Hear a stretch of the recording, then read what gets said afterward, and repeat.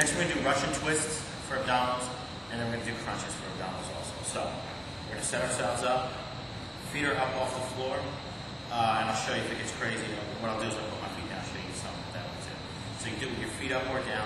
We wanna twist the torso, and we're using the medicine ball. So we're gonna pick our feet up and twist.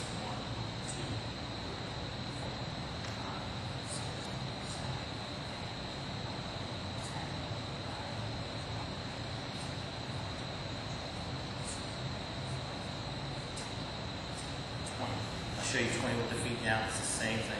You just have a little bit more stability. The stronger you get, you want to do it with your feet off though.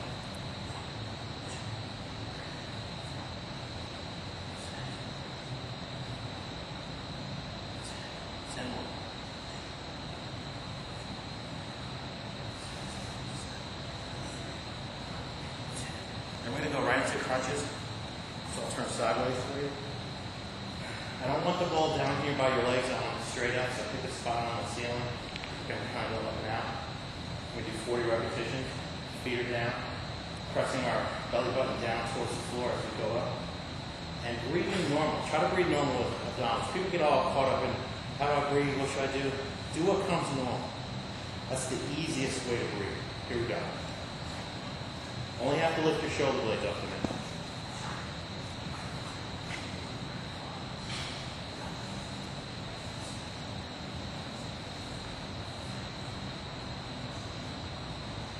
10.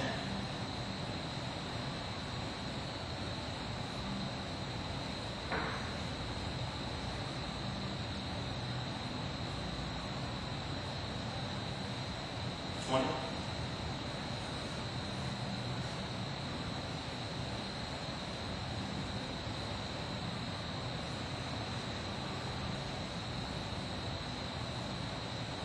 Thirty.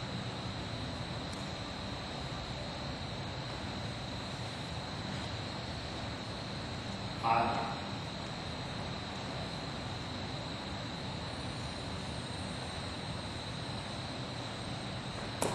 good. That's an awesome ab blast. Uh, we're working our whole core with the turn and the twist. Obliques come into it. Uh, intercostals, all those side abdominal muscles, inner and outer. And then when we're laying down flat, we're concentrating on just the crunches. We're using our, our core, mainly the upper abdominals. The abdominals work as a whole, but mainly the upper abdominals and that lower back to stabilize yourself. Excellent. 40 and 40. Uh, you repeat that four times, and that's a great ab workout.